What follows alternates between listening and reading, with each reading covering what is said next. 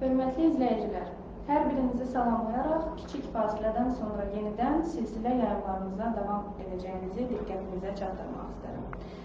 Dəyərli vətəndaşlar, vətəndaş cəmiyyəti nümayəndələri, eləcə də mətbuat nümayəndələri üçün maraqlı, aktual mövzular seçərək fəaliyyətimizi ehtiva edən məsələləri gündəmə gətirərək yenidən qarşınızdayıq. Bugünkü mövzumuz da məhz belə Gündəmin ən aktual sahələrindən biri hesab edilən məhkəmə ekspertizası sahəsinə edilmişdir. Biz bugün çox hörmətli həmkarlarımızla birgə məhkəmə fəaliyyətində yeni tendensiyalar haqqında danışacağıq. Sizi də əziz vətəndaşlar fəal olmağa, canlı yayımıza qoşularaq rəy bölməsində sizi maraqlandıran konkret məsələlər üzərindən suallar ünvanlamağa dəvət edirəm. Onlar canlı yayım zamanı cavablandırılacaq və yaxud da aidiyyatı üzrə yönləndiriləcəkdir. Məhkəmə ekspertizası institutunun tarixi kifayət qədər zəngindir. Belə ki, 1938-ci ilin avqust ayında Azərbaycan SSR Ədliyyə Xalq Komissarlığı nəzdində təşkil edilən kriminalistika kabineti.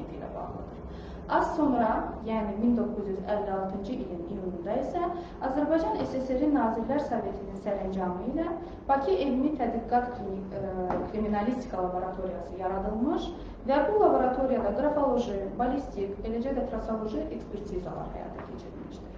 1960-cı ilin dekabr ayında isə bu laboratoriyanın əsasında Azərbaycan Respublikası Nazirlər Sovetinin Hüquq Komissiyası yanında Azərbaycan Elmi Tədqiqat Məhkəmə Ekspertizası İnstitutu yaradılmışdır. Daha sonra Azərbaycan Respublikası Prezidentinin ədli orqanların inkişafı haqqında 17 avqust 2006-cı il tarixli fərmanı ilə Elmi Tədqiqat Məhkəmə Ekspertizası Kriminalistika və Kriminologiya Problemləri İnstitutu Məhkəmə Ekspertizası Mərkəzi adlandırılmış və beləliklə mərkəz baş idarə səlahiyyətli qurum kimi təsdiq edilmişdir. Hazırda mərkəzdə 20 məhkəmə ekspertizası növü və 41 ekspert ixtisası üzrə tədqiqatlar aparılaraq rəy və arayışlar verilir. Az sonra biz məhz bu ekspertiza növlərinin ə, e, hansı ə, e, və necə ekspert ixtisası ilə, ekspert ixtisaslarından fərqləndiyi barədə də müzakirə aparacağıq. Ekspertiza xidmətinin keyfiyyətinin yüksəldirilməsi məqsədi ilə Azərbaycan Respublikası Ədliyyə Nazirinin məhkəmə ekspertizası fəaliyyətinin təkmilləşdirilməsi ilə bağlı bəzi tədbirlər barədə 22 avqust 2012-ci il tarixli əmri ilə məhkəmə ekspertizası mərkəzinin regional bölmələri yaradılmışdır. Hazırda ekspertizalar Bakı şəhərində yerləşən inzibati binasından, eləcə də Gəncə, Şəki, Şirvan və Lənkəran bölmələrində aparılır. Beləliklə, mərkəzin daxili qurumlarının e, sayı 13 təşkil edir, regional idarələrin sayı isə 5. Hazırda e, mərkəzdə 200, toplam 212 əməkdaş fəaliyyət göstərir. Eyni zamanda mərkəzin 2010-cu ilin may ayındakı müraciəti əsasında Azərbaycan Respublikası Ədliyyə Nazirliyinin Məhkəmə Ekspertizası Mərkəzi 10 fevral 2011-ci ildə Avropa Məhkəmə Ekspertizası İnstitutlarının Birliyinin üzvlüyünə qəbul edilmiş və onun 34-cü ölkəni təmsil edən 60-cı üzvü olmuşdur. Nəhayət mərkəzin fəaliyyət istiqamətlərinə gəldikdə isə onun ə, e, əsas 4 fəaliyyət istiqaməti vardır. Belə ki, məhkəmə ekspertizalarını həyata keçirir və tədqiqatlar aparır. Elmi tədqiqat işlərini aparır, ə, e, ekspert tədqiqatının yeni metod və metodikalarını hazırlayır və onları təkmilləşdirir. Məhkəmə və hüquq mühafizə orqanlarına elmi metodik kömək göstərir, eləcə də ekspert profilaktikasını həyata keçirilir və təbii ki, qanunvericiliklə müəyyən edilmiş digər istiqamətlərdə fəaliyyət göstərir. Bir daha çox hörmətli həmkarlarımızı sizə onları salamlayaraq təqdim etmək istəyirəm. Məhkəmə Ekspertiza Mərkəzinin elmi tədqiqat və metodiki iş şöbəsinin rəisi çox hörmətli Hürmət Vəliyev bugün bizim qonağımızdır. Eyni zamanda ballistik və trasoloji ekspertizalar şöbəsinin eksperti Aysel xanım Kişiyeva. Bugünkü mövzumuzu bir daha xatırladıram. Məhkəmə ekspertizası fəaliyyətində yeni tendensiyalar. Artıq mövzumuza keçid edə bilərik. İlk sualım Aysel xanım sizə olacaq. Məhkəmə ekspertizası fəaliyyətində yeni tendensiyalar dedikdə məhz nə, nələr nəzərdə tutulur? Və məlum olduğu kimi cənab prezidentin 3 aprel 2019-cu il fərmanında məhkəmə hüquq sistemində islahatların dərinləşdirilməsi barədə fərman çərçivəsində məhkəmə ekspertizasına dərinə düşən tapşırıqlar və təkliflər barədə zəhmət olmasa məlumat verin. E, çox sağ olun. Belə bir verilişə bağlı olaraq vətəndaş cəmiyyətinə aktual əhəmiyyət edən məsələlərlə bağlı e, biz mütəxəssislər dəvət etdiyimizə görə sualları cavablandırmaq məqsədilə ekspertiza fəaliyyəti doğrudan da günümüzdə ən əsas aktual məsələlərdən biridir. Yəni ekspertiza elə bir insan yoxdur ki, həyatı yaşadığı müddət ərzində e, ekspertiza fəaliyyəti ilə əlaqəli bir, işi olmasın, yəni fəaliyyəti olmasın, məsələ olmasa olur. Fəaliyyətimizdə yeni tendensiyalar birlikdə özünüz qeyd etdiyiniz kimi başçısının 3 aprel 2019-cu il fərmanından irəli gəlib. Ölkə başçısının ə, sözü gedən ə, fərmanı ilə ə, məhkəmə və hüquq sistemlərində əsaslı dəyişikliklər edilmiş, onun müasirləşdirilməsi istiqamətində işlər daha da sürətləndirilmiş, bir sıra institusional və hüquqi tədbirlər görülmüşdür. Fərmandan irəli gələrək e, Lisa e, demək regional kommersiya və inzibati məhkəmələri yaradılmışdır. E, Sabahit məhkəmə tədbirəsi formalaşdırılmışdır. O cümlədə ekspertiza fəaliyyətinin təkmilləşdirilməsi, e, bundan əlavə ekspertiza müddətlərinin dəqiqləşdirilməsi, əvvəlki qanunvericiliyimizdə müddətlər dəqiq cinayət işlərində bir müddət müəyyənləşdirsə də mülki işlərdə müəyyənləşdirilməmiş müddət. Bununla bağlı problemlər çıxırdı icra zamanı bu müddətlərin dəqiqləşdirilməsi, müddətlərin dəqiqləşdirilməsi fərqində başa dəyişmə qalmışdır. Və bundan əlavə, demək, məhkəmə ekspertizasında keçirilməsi ilə bağlı müraciət edən şəxslərin dairəsi genişləndirilmişdir. Bu vətəndaşlarımızın hüquqlarının genişləndirilməsinə bilavasitə təməl olunmuşdur. Bir də özəl ekspertizanın tətbiqi ilə bağlı yeni normalar müəyyənləşdirilmişdir. Sən bu fəaliyyətimizdəki əsas tendensiyalar fərmanda göstərilən tapşırıqların bilavasitə icrasından irəli gələrək qaynaqlanır irəliləyən dəqiqələrdə hər bir fərmanda verilən tapşırığımızda daha ətraflı müzakirələr aparır, daha ətraflı ictimaiyyətə məlumat verərik. Ümumi başlanğıc prinsiplər sadəcə bunlar təməl prinsiplər, ekspertiza fəaliyyəti ilə əlaqədar fərmandan irəli gələn təməl prinsiplər bunlar idi ki, yeni tendensiya uyğunluq, yəni ki, qanunvericidə bu dəyişikliklər edir. Teşekkür ederim Aysel Hanım. Hürmet Hanım, Aysel Hanım da az önce qeyd etdiyi kimi bu ekspertiza müddətlərinin dəqiqləşdirilməsi məsələsində zəhmət olmasa nəzər yetirək. Əvvəlki qanunvericilikdə cinayət işləri üzrə ekspertizanın icra müddəti dəqiq göstərilsə də, mülki işlər üzrə onlar ya ümumiyyətcə göstərilirdi və yaxud da bu məhkəmənin çıxartdığı qərardan asılı olaraq dəyişirdi. Fərmandan irəli gələn tapşırığa əsasən ekspertiza müddətinin dəqiqləşdirilməsi hazırda necə tənzimlənir? Çox sağ olun, təşəkkür edirəm. Məhkəmə ekspertizası inkişafının, inkişaf, inkişafın tendensiyası ilə bağlı Azər xanımın fikirlərini ətraf etmək istəyirəm ki, Sovetlər dövründə məhkəmə ekspertizası fəaliyyəti üzrə qanunvericilik bazası müstəqil olmadığı üçün başqa qanunvericiliklə tənzimlənmişdir. Azərbaycan müstəqil əldə etdikdən sonra 1999-cu ildə dövlət məhkəmə ekspertizası fəaliyyəti haqqında qanun ləğv edilmişdir. Haqqında danışdığımız fərmanda verilən tapşırıqlar icra edilənə qədər təxminən 100 ilə yaxın müddətdə həmin qanun əsasında məhkəmə ekspertizası fəaliyyəti təşkil edilmişdir. Kilsə millət məsələsini Özbanca kilsək.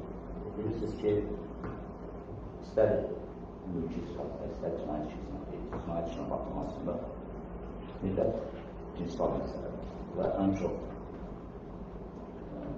iş iştirakçılarının şikayətinə, narazılığına səbəb olan hallardır. Əvvəlki qanunvericilikdə qeyd etdiyiniz kimi cinayət prosessual məsələdə ekspertlərin verilməsi üçün bir aya qədər və verilməsi təsdiq edilmişdir. Lakin digər qanunvericilikdə bu normalar konkret göstərilmişdir.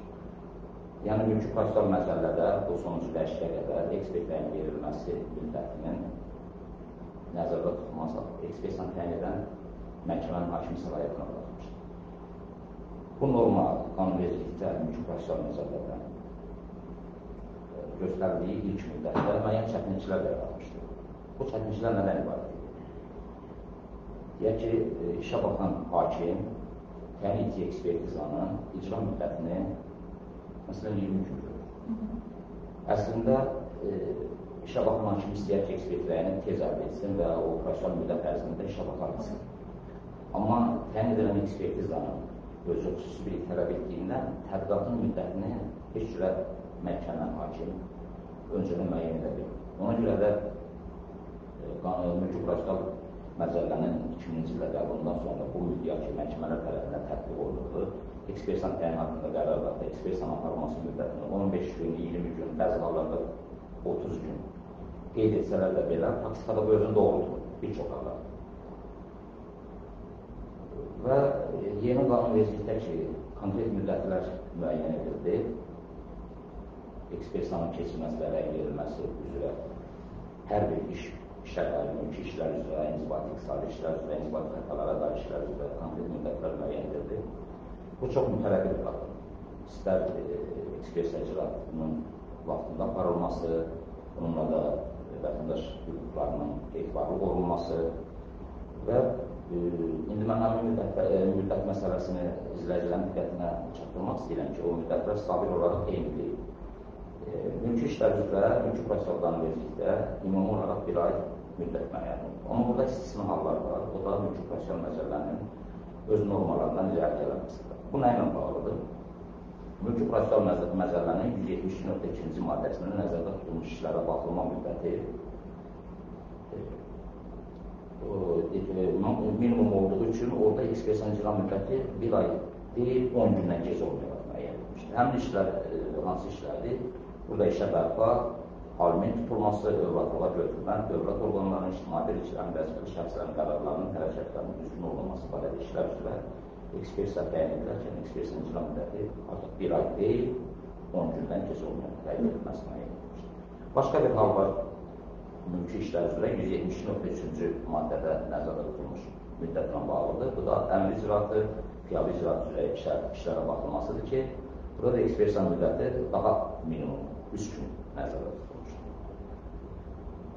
İnzibati xətalar nəzərləsinə aid olan işlərin baxımı müddəti 10 gündən gec olmayaraq, inzibati icraat üzrə ekspersiyanın təyini bir aydan gec olmayaraq, qanunvericilikdə ekspersiyanın aparılması müddətlər nəzərdə tutulmuşdur.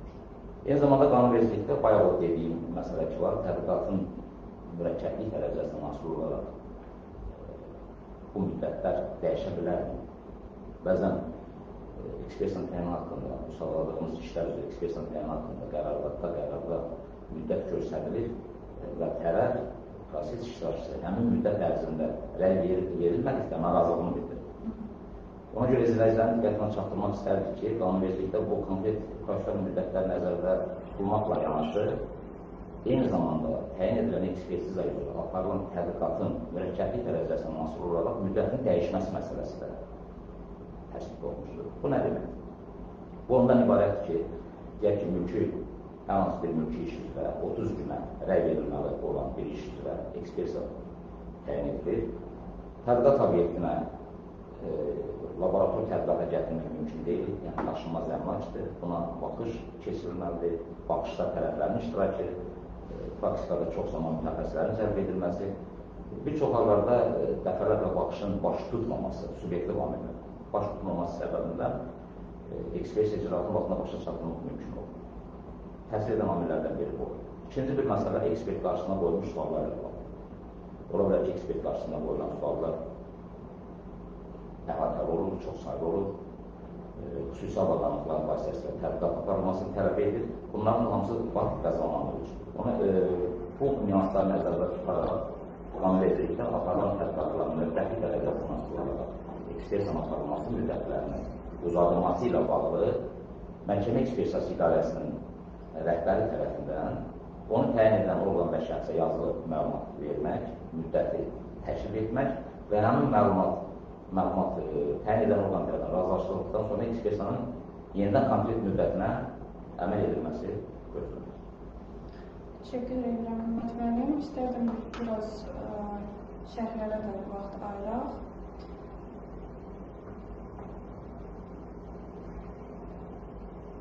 Vətənsevər adlı bir izləyici yazıb, eyni zamanda Ziniyyət xanım Quliyeva.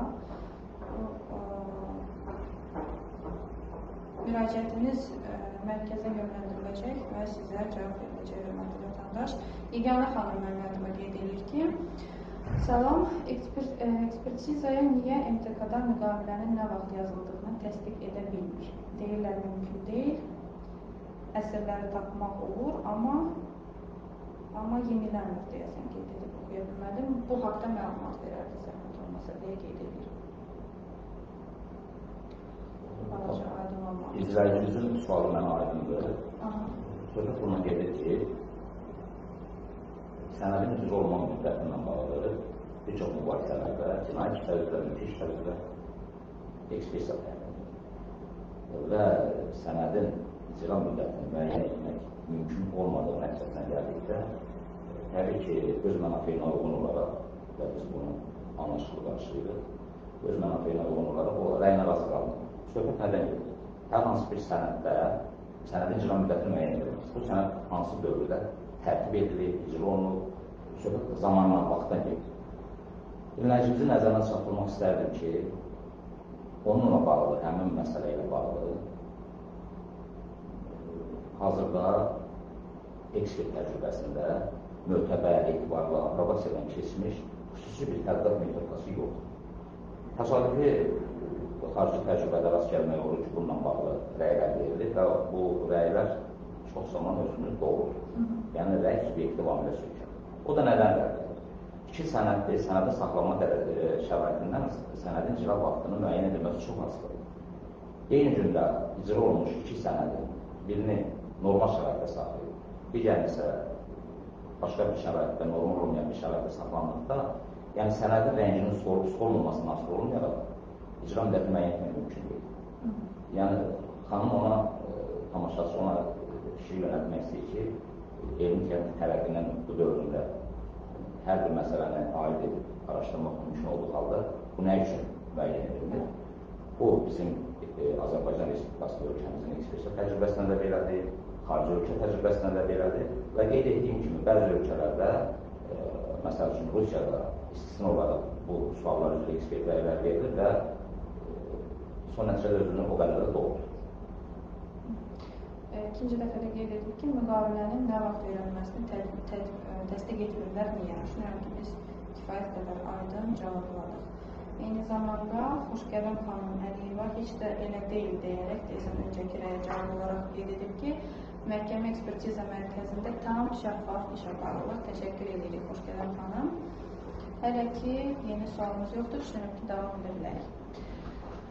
Ekspertizanı sifariş edən şəxslər dedikdə, bu məsələnin düşünürəm ki, daha geniş izah ehtiyacı var. Ölkə başçısının fərmanından irəli gələn tapşırıqlarından ən başlıcası ekspertizanın keçirilməsi ilə bağlı müraciət edən şəxslərin dairəsinin genişləndirilməsi olmuşdur ki, bu mexanizmin müəyyən edilməsi ə, e, olmuşdur. Yəni hazırda bu istiqamətdə qanunvericiliklə məhz hansı məsələlər nəzərdə tutulur?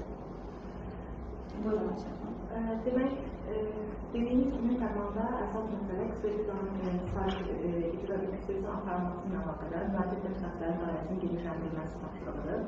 Bununla irəli gələrək, tapşırıqdan irəli gələrək, mülki prosessual, cinayət prosessual, yəni prosessual qanunvericilik və məhkəmə ekspertizası fəaliyyəti haqqında qanunda dəyişiklik dərk edildi. Hazırda məhkəmə ekspertizası fəaliyyəti haqqında qanunun 21-ci maddəsinə əsasən cinayət işləri üzrə təhqiqatçının müstəqil məhkəmənin təyin etdiyi qərar və qərarlıqlar məhkəmə ekspertizası idarələrinin ekspertləri tərəfindən icra olunur. Məhkəmə ekspertizasının idarələrinin ekspertləri dedikdə burada Ədliyyə Nazirliyinin, Səhiyyə Nazirliyinin və Daxili İşlər Nazirliyinin ekspertləri nəzərdə tutulur. Yəni cinayət işləri üzrə vətəndaşlar üçün anlaşılır olsun deyə cinayət işləri üzrə e, sifarişdən söhbət gedir. Cinayət işləri üzrə qərar təyin olunur və idarə ekspertləri, idarələrin ekspertləri tərəfindən icra olunur. Yəni cinayət işi üzrə hər hansı bir sifariş həyata keçirilə Sifariş keçirilə. E, amma mülki prosesual, inzibati prosesual, inzibati xətalar məcəlləsində nəzərdə tutulmuş hallarda fiziki və hüquqi şəxslər, onların vəkilləri və nümayəndələri ekspertizanın sifariş edilməsi üçün həm ekspertiza idarələrinə, eyni zamanda özəl məhkəmə ekspertlərinə müraciət edə bilərlər. Bu halda ekspertizanı sifariş edən şəxslə e, idarə, ekspertiza idarələri və yaxud özəl məhkəmə ekspertləri arasında müqavilə bağlanır və e, e, sifariş onların e, ekspertizanın həyatı onların hesabına həyata keçirilir. Sifariş edən şəxsin hesabına həyata keçirilir. Cinayət işləri xüsusi ittiham qaydasında həyata keçirildiyi hallarda iş üzrə şübhəli şəxs təqsirləndirilən şəxs onun müdafiəçisi və ya mülki cavabdeh ekspertizanı dövlət ekspertiza idarələrinə sifariş edə bilər. Yəni, xüsusi ittiham qaydasında həyata keçirilən işlərdə isə özəl ekspertlərə sifarişdən söhbət getmir. Məhkəmə ekspertiza idarələrinə sifariş edə bilərlər. Yəni, mülki işlərdə, inzibati işlərdə, inzibati prosesual məcəllər nəzərdə tutulmuş hallarda ekspertizanın sifarişi həyata keçirilə bilər. Və hazırda mərkəzlər və vətəndaş müraciətlərində çox sayda məsələlər bunlarla əlaqədardır. zəhmət olmasa imkan daxilində biraz ucadan danışaq, qeyd edirlər ki, biraz eşitməkdə çətinlik. İcazə verin, -hı. tamamilə ətraflı və geniş qeydiyyətli sifarişlə təyin edilən ekspertizaları məsələ nədən ibarət edir? Öncə necə ibarət edir? Deyək ki, mülki işə baxılarkən tərəf ekspertizanın təyin edilməsi ilə bağlı məhkəmə qarşısında məsələ qalır. Məhkəmə vəsaləti qəbul etmək mütləqiyyət əsaslandırılmış qaydada əldə edilir. Eyni zamanda qanunvericilikdə nəzərdə tutulmuşdur ki, tərəf ekspert qarşısında qoyulan sualların variantını, öz təklifini, öz istəyini verə bilər. Son anda həmin sualların seçimi, redaksiyası qərarları qəbul edən məhkəmə vəzifəsidir. Artıq indi qanunvericilikdə tamamilə mütərəqqi bir norma özləşsin qalmış. Bu nədəndir? Tərəf öz mənafe ilə xidmət edə biləcək halları müəyyən etmək üçün tədqiqat obyektini özü müəyyənləşdirir, sualları özü müəyyənləşdirir, yəni belə deyək, işə baxan məhkəmə və hakimdən asılı olmalı. Özü müəyyənləşdirir və aidiyyatı qurumlara xüsusilə qeyd edilməli ki, nəinki məhkəmə ekspertizası idarəsinə, yəni dövlət müəssisələrə, eyni zamanda özəl ekspertlərə müraciət etmək hüququna malikdir. Belə deyək, tərəf məhkəmədə sübut etməli, sübut etmək istədiyi halı sübut etmək üçün tamamilə geniş hüquqa malikdir. Yəni bu qanunvericilikdə tamamilə çox mütərəqqi bir normadır və yəqin ki, gələcəkdə e, vətəndaşlarımızın hüquq müstəvisində öz hüquqlarının qorunmasında böyük köməkçi olacaq. Qafqaz Info az saytından ə, hörmətli Murad Əhməd sual ünvanlayıb bizə. Prezident İlham Əliyev 2019-cu ildə imzaladığı sərəncamla Azərbaycanda özəl məhkəmə ə, ekspertiza mərkəzlərini yaradılıb. Yəni bu ə, sərəncam nəticəsində. Ədliyyə Nazirliyi bu mərkəzlərin fəaliyyəti ilə bağlı monitorinq aparırmı və özəl məhkəmə ekspertiza mərkəzləri özünü doldurur? Belə bir sual. Öncə xatırladım ki, e, özəl ekspertlərin yaranması sərəncam edir. Biz haqqında danışdığımız fərmanla nəzərdə tutulmuşdur. E, Və məlumat vermək istəyirəm ki, özəl ekspertiza fəaliyyəti hal-hazırda ölkəmizdə fəaliyyətə başlamayıb. E, Bununla bağlı normativ e, hüquq aktların qəbul edilməsi üzərində işlər gedir. Özəl ekspertizanın fəaliyyətə başlaması üçün ekspert şərəfnaməsinin verilməsi qaydası, özəl ekspertlərin xüsusiliyini müəyyən edən sənədlərin siyasi, məhkəmə ekspertlərinin reyestri və digər sənədlər hal-hazırda baxılma mərhələsi qurulduğunda hələlik özəl ekspert fəaliyyətinə başlanma, başlanılmayıb. Ümid edir ki, yaxın müddətdə biz ölkəmizdə özəl ekspert fəaliyyətinə şahid olacaq.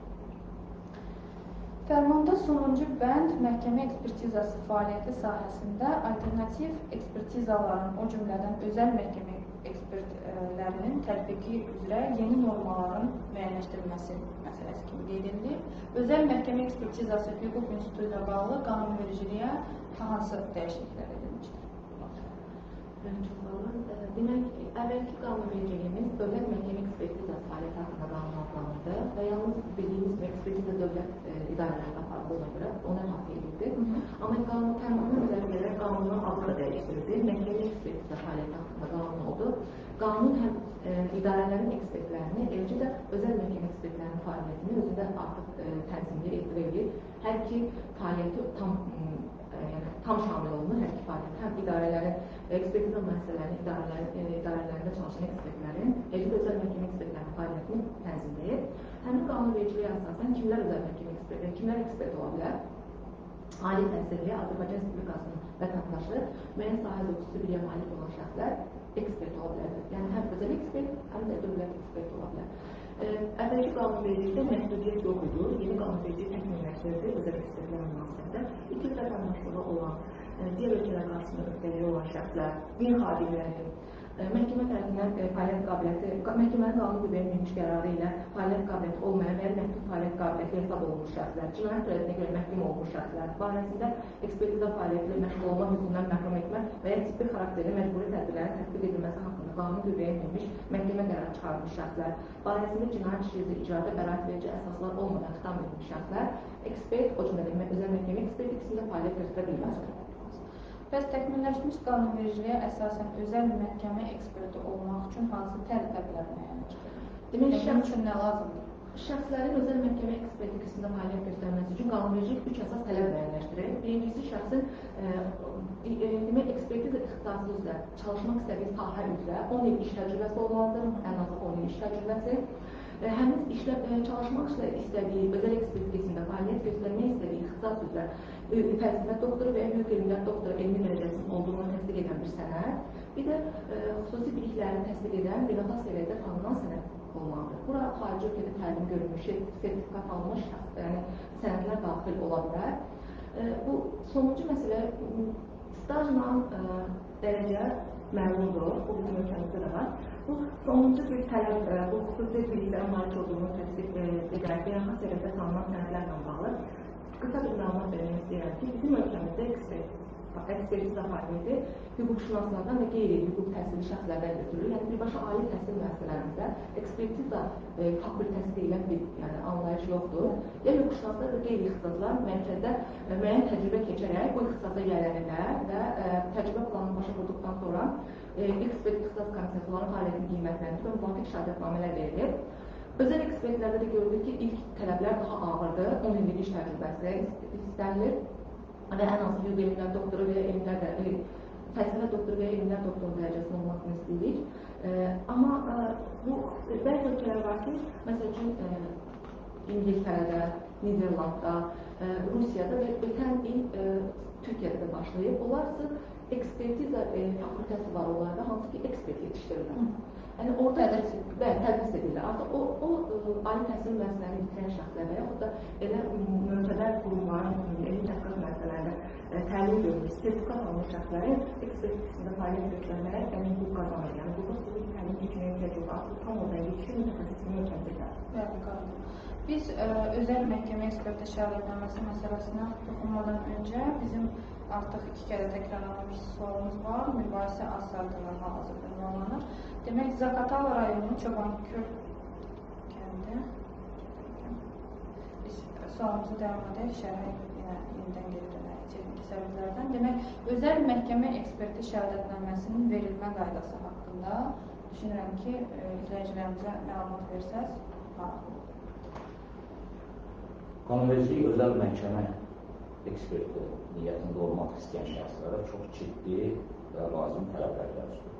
Deyək ki, bu məhkəmə ekspertizası idarəsində işləmək üçün 10 il məhkəmə ekspertizası sahəsində iş stajı tələb edilmədiyi halda özəl ekspertlərdən bu tələb edilir. Dövlət məhkəmə ekspertizası müəssisəsində ekspert kimi işləmə niyyətində olan şəxslərdən fəlsəfə doktoru, elmə doktoru, elm dərəcəsi tələb edilmədiyi halda özəl ekspertlərdən bu tələb edilir. Eyni zamanda Asiya xanımın qeyd etdiyi beynəlxalq dərəcəli sertifikatlar özəl ekspertlərdən tələb edilir. Bu nə üçün tələb edilir?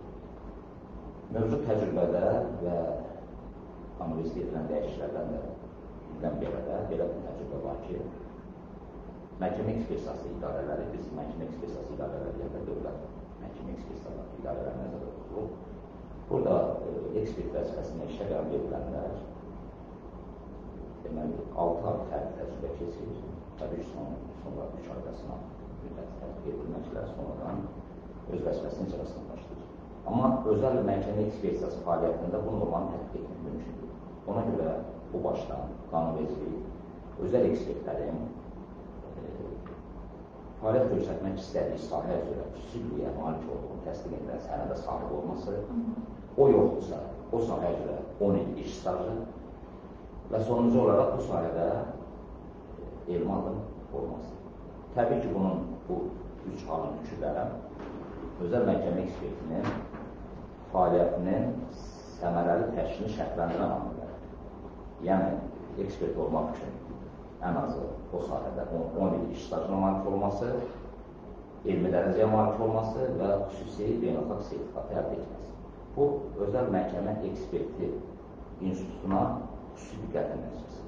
Əks halda istənilən an təhsil şəxs xüsusi təcrübə keçmədən, ekspertlə metodikasını öyrənmədən bu fəaliyyətlə məşğul olsa, təbii ki, onun verdiyi rəylər möhtəbər olmayacaq, elm əsaslı olmayacaq, böyük mübahisələrə yol açacaq, vətəndaşlarına narazı salacaq. Qanunvericilik buna görə özəl ekspertiza fəaliyyətlə məşğul olmaq istəyən şəxslərin qarşısında xüsusi şərtlər təşkil Özəl ekspert olmaq üçün öncə nədən başlanır? Qeyd etdiyimiz üç tərəfdən birini təmin edən ödəyən şəxs vizval təmindən keçmək üçün Ədliyyə Akademiyasına müraciət edir.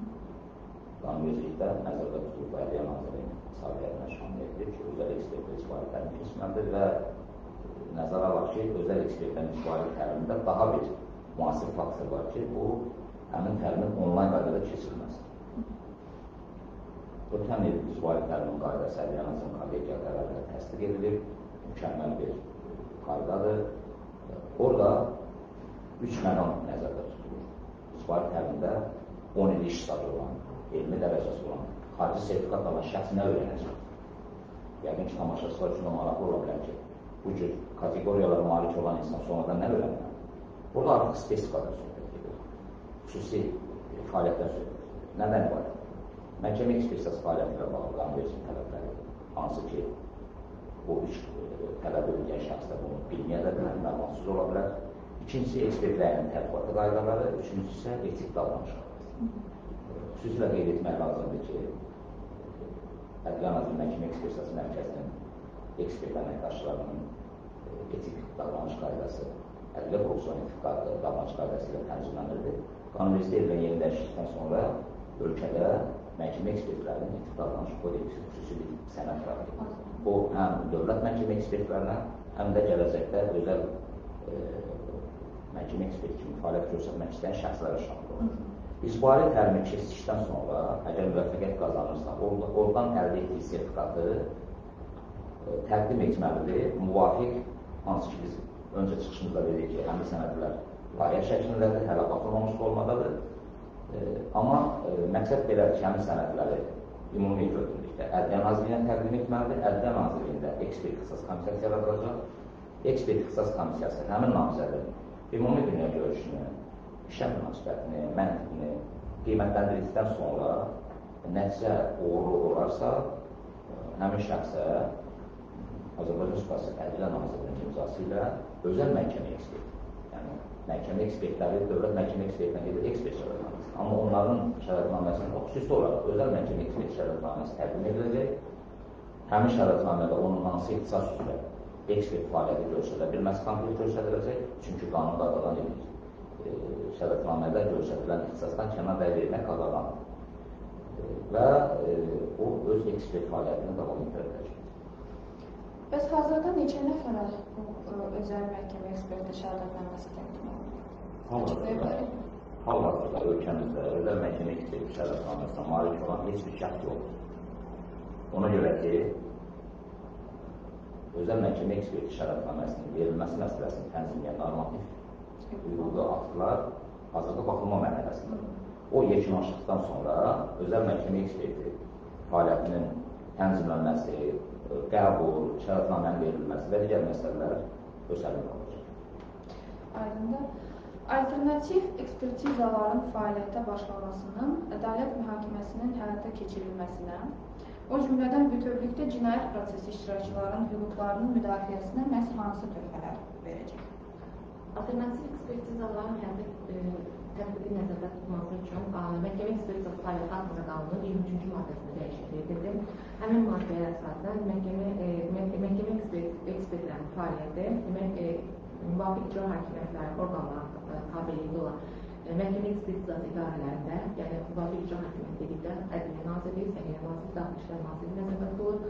Elmi müəssisə təşkilatlarda, ali təhsil müəssisələrində uyğunluğun qiymətləndirilməsi sahəsində akkreditasiya haqqında qanuna uyğun olaraq e, akkreditasiyadan keçmiş sınaq laboratoriyalarında, özəl hüquqi şəxslərdə, habelə özəl ekspert tərəfindən ayrıca həyata keçiriləcəkdir.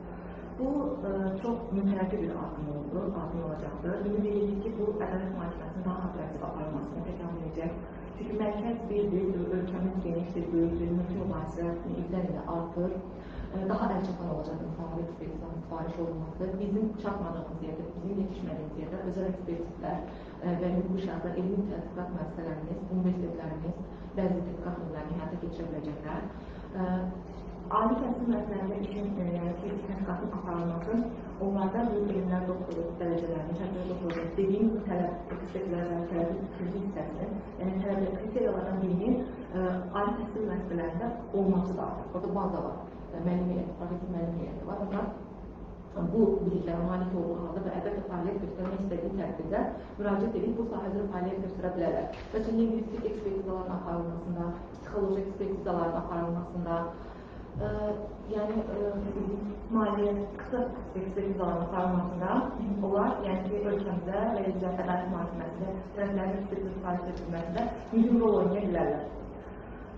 Bir də edirik ki, dediyim kimi bayaq, rəqabətin olması hər yerdə olduğu kimi, hər bir yerdə rəqabətin olması demək ə, ə, işin keyfiyyətini qaldıracaq ortaya.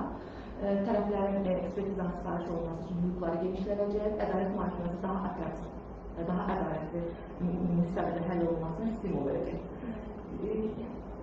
Yəni qanunnaməsi layihədə də dəyişikliklərdən əsas gözləntimiz budur. Yəni ümid edirik ki, fəaliyyətə başladığı zaman da gözlədiyimiz gözləntilər tamamlamasını əldə etmiş olacaq. Biz ə, az öncə qeyd etmiş olduq ki, bu özəl məhkəmə ekspertləri haqqında normativ hüquqi aktlar hal-hazırda baxılma mərhələsindədir. Bəs özəl məhkəmə ekspertlərinin fəaliyyətinə nəzarətin hansı formada həyata keçirilməsi nə- nəzərdə tutulur gələcək üçün? Məhkəmə ekspertizası fəaliyyəti haqqında qanun tələblərinə müvafiq olaraq özəl məhkəmə ekspertizası fəaliyyətinə nəzarət Ədliyyə Nazirliyinin səlahiyyətinə aiddir. Məhkəmə ekspertizası fəaliyyəti haqqında qanunda nəzərdə tutulmuş bütün hüquq və vəzifələr məhkəmə ekspertizası idarəsinin ekspertləri ilə bərabər həm də özəl ekspertlərə tamamilə şamil olunur. Bununla əlaqədar Ədliyyə Nazirliyinin əsasnaməsində müvafiq dəyişiklik edilir. E, Yəni, özəl məhkəmə ekspertlərinin məhkəmə ekspertisi fəaliyyəti haqqında qanun tələblərinə dürüst riayət etməsinə nəzarət, eyni zamanda e, onların onların şərəfnamə ilə təmin edilməsi, atisiyyadan keçirilməsi və fəaliyyət etik davranış qaydalarına riayət edilməsinə nəzarət edilməsi Ədliyyə Nazirliyinin səlahiyyətinə aid edilmişdir.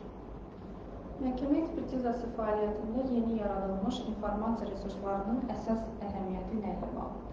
Fərmandan irəli gələrək, e, demək, məhkəmə ekspertizası fəaliyyəti sahəsində üç innovativ informasiya resursunun yaradılması nəzərdə tutulur. Birincisi, məhkəmə ekspertizası tədqiqat metodlarının dövlət reyestri, e, məhkəmə ekspertizasının metodik fonu, bir də məhkəmə ekspertlərinin reyestridir. Məhkəmə ekspertizasının tədqiqat metodlarının dövlət reyestrində metodik fond haqqında qərarlar, onların yığılması, hazırlanması haqqında qərarlar Nazirlər Kabineti tərəfindən ötən il təsdiqlənmişdir. Artıq onların hazırlanması istiqamətində işlər görülür. Məhkəmə ekspertlərinin reyestrına isə hazırda baxılma mərhələsindədir. E, Onunla bağlı da normativ sənəd hazırlandıqdan sonra o istiqamətdə də işlər e, davam edəcəkdir.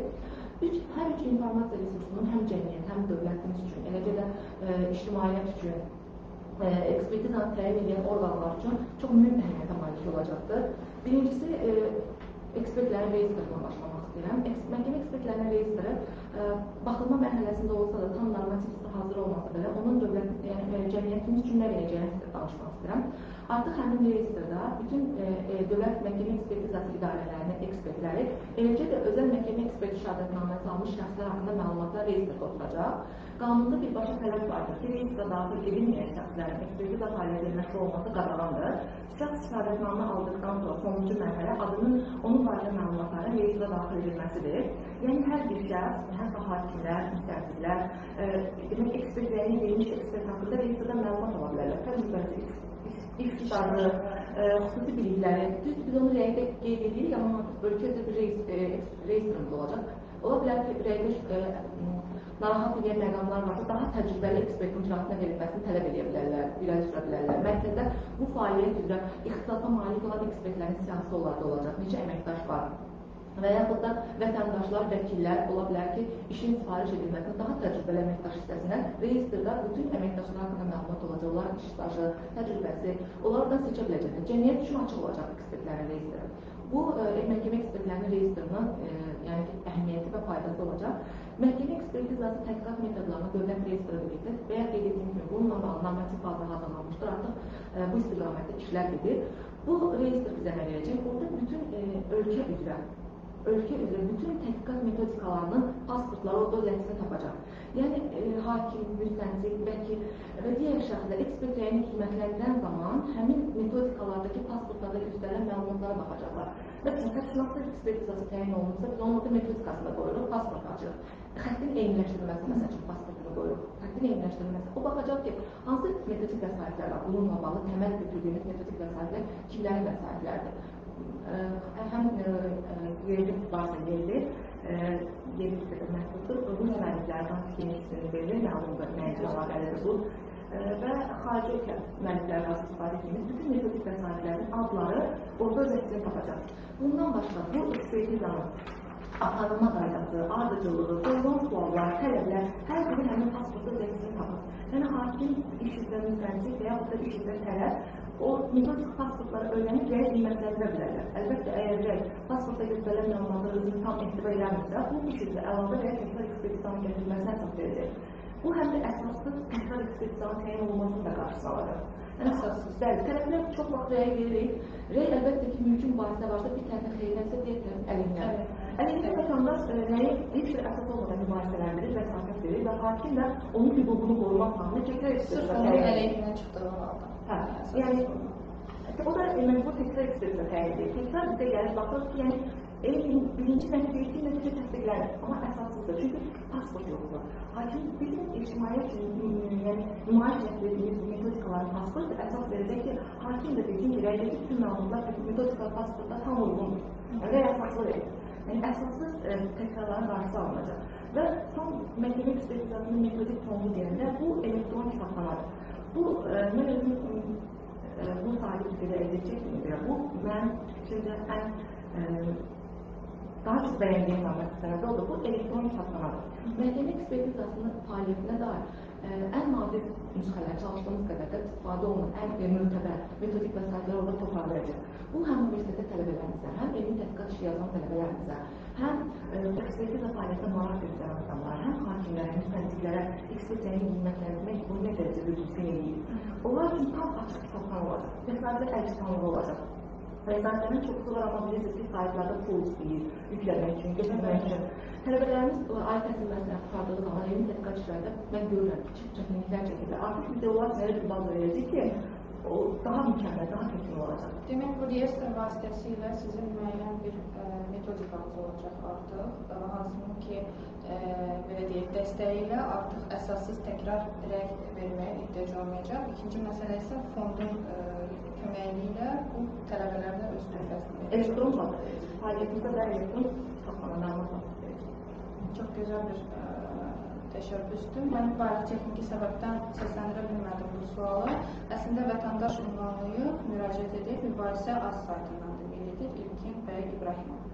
Zakatala rayonu Çobanköl kəndi, yanğın Atayev Eldar evi, yəni ə, bu evdə yanğın və İsmayıllı Tircan kəndi, Aydın Əliyev evi bir ildən çoxdur ki, ekspertiza edir. Amma ekspert gəlib qiymətləndirmir. Yəni bu kimi ə, halları deyir ki, nə ilə izah etmək olar, nədən irəli gələ? Vətəndaşın yaxşı olar ki, konkret işi işin spesifiklərimizə göndərsin. Məsələni araşdıraq, biz onun müraciətini belə diqqətliyə salmırıq. Amma ilk öncə onu deyim ki, yanğın ekspresiyasından bağlı və yanğın hadisəsi baş verirsə, yanğın ekspresiyasından bağlı iki materiallar toplanılır. İki materialın toplanılması istintaq olunan tərəfindən xeyli vaxt aparır və nəticə etibarilə ekspertizə rəyini almaq üçün bütün tələb olunan sənədləri ekspertə çatdıqdan sonra yekun rəy vermək mümkündür. Amma e, təklif edirəm ki, vətəndaş həmin işlə bağlı dəqiq və ətraflı istər məhkəmə ekspertizası mərkəzinin e, qaynaq xətt bölməsinə, həm elektron, həm telefon bölməsinə müraciət etsin və ya başqa bir formada müraciət etsin ki, biz məsələni dəqiq, konkret araşdırıb, lazım köməkli göstərək. Razıyam. Dəqiq müvafiq ə, məlumatı qeyd etsin və biz ə, mərkəz vasitəsilə onu cavablandıracaq mütləq diqqətdən qaçırmayacaq. Yusuf Məmmədov qeyd edir.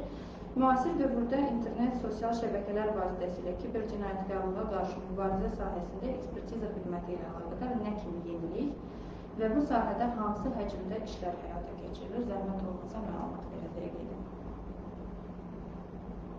Kiber cinayətkarlıqla bağlı belə konkret kompetent ekspertizası ilə bağlı. Bəli. Ekspertiza növü bizdə ən e, cavan, yeni yaradılmış ekspertiza növlərindən ibarətdir. Ənənəvi ekspertiza növlərindən fərqli olaraq 2003-cü ildə məhkəmə ekspertizası mərkəzində e, kompetent ekspertizası mərkəz aparan ekspertizaların təsdiqatına daxil edilir və o dövrdən günə qədər uğurla bu ekspertiza aparılır. Kifayət qədər maddi texniki bazaya məl- malikdir, peşəkar mütəxəssislər çalışır, e, deməli, komputer daşıyıcılarla olan məlumatların, xüsusən e, indi mobil telefonlarla və digər xüsusən adamlardakı informasiyaların əldə edilməsi, əldə edilməsidir. Və digər məsələlərlə bağlı mərkəz tərəfindən o cür o növ ekspertiza həyata keçirilir. Valih ə, bəy vətəndaş qeyd edib ki, Azərbaycanda yeganə vicdanla şəffaf işləyən orqanlardan biri məhkəmədir. Uğurlar. Təşəkkür edirik, minnətdarıq.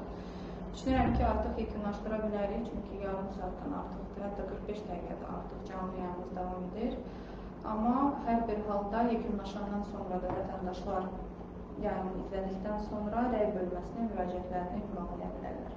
Ümumiyyətlə, təşəkkür edirəm sizə dolğun cavablara görə, izahlara görə izləyicilərimizə, sizə də Aysel xanım. Bizi izlədiyinizə görə təşəkkür edirik. Sağ olun, salamat qalın.